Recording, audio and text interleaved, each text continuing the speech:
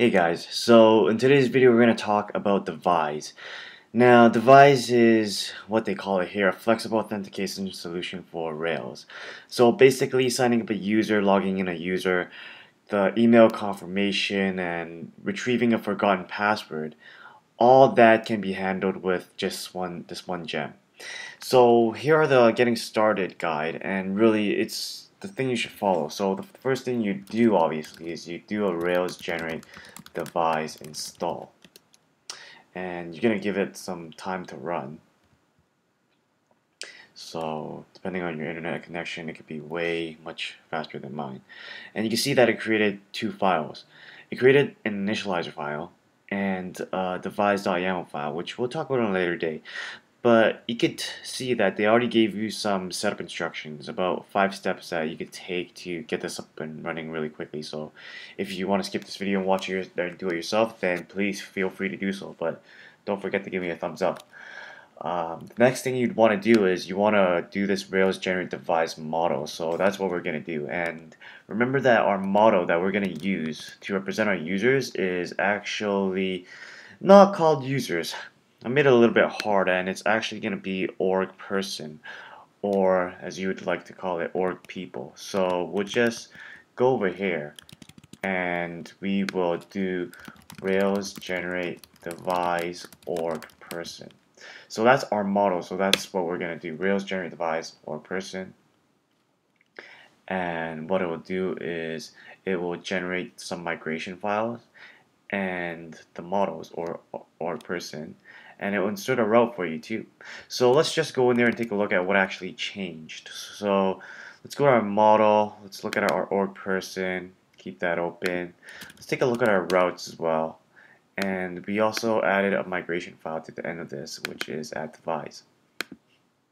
So what they added to our to our model first is they just added this one line which pretty much sets up the authentication, the registering, which is registerable, the recovering your your forgotten email recoverable, and a lot of other different options that Devise really allow you to do. But first things first, we're going to take confirmable because we want the users to be able to confirm their their account, and we're just going to put that under there under Devise so to so that so as to enable that option and let's take a look at our routes.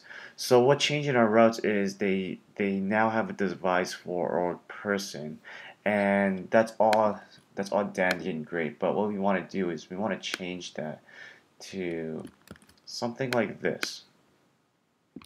And I'll explain this more in a, in a later in a later video.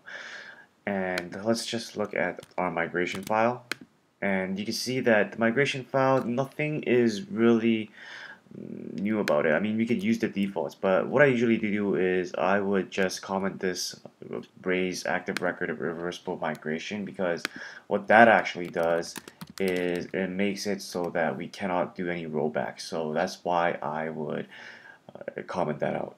And we will need our confirmable token because now we're going to add in confirmations and we're also going to need to uh, uncomment these four options for unconfirmable.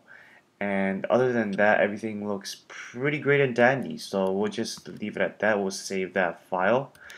And what we'll do next is we would do a rake db migrate. So what we will do is we do rake db migrate. Let's hope this migration goes through well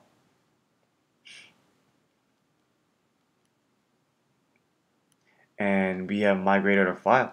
So in this video, that's all I really wanted to go through today. What we did, to give you a little bit of recap, is we just ran two options. We just ran Rails generate devise install to install Devise, and we generated the model, which gave us three files. The it really edited our org person model that we had before before installing Devise, and edited our routes and what what is what we did is we changed our routes to these these two added added these extra options on there or extra commands and we changed our our migration file such that we commented out the rollback problem and we uncommented the confirmable options. So that's all I want to go through today. Please rate, comment, subscribe if you haven't already. And there, yeah, there's one last thing. If you have any sorts of questions or idea, leave them in the comments below, or you could actually email us at coursehack at gmail.com, which is the email that we're using right now. Uh, there have there have been some people that have pitched me some ideas, which are some really good ideas, and I really love hearing new ideas. Um, you can always, I would always love to work on new problems with some new people. So always down to talk more about ideas and and projects. So if you have something in mind, then don't hesitate to hit me up. On that, please rate, comment, subscribe, and I'll see you guys in the next video.